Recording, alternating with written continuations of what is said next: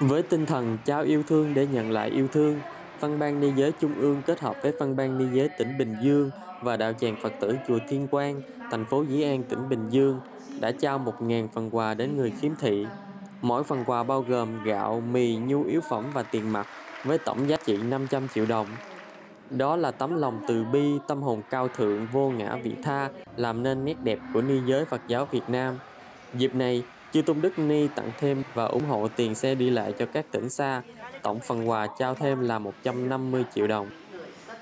Bắt đầu là những cái món quà yêu thương nhưng mà cái tâm nguyện của mình thì lúc nào cũng muốn kết hợp, từ thiện với bằng pháp cho nên bên cạnh cái việc làm, từ thiện để giúp đỡ những mảnh đời bất hạnh khó khăn, thì luôn luôn à, mình có một cái tâm nguyện là gửi những thông điệp lời Phật dạy đến tất cả những người có nhân duyên với mình.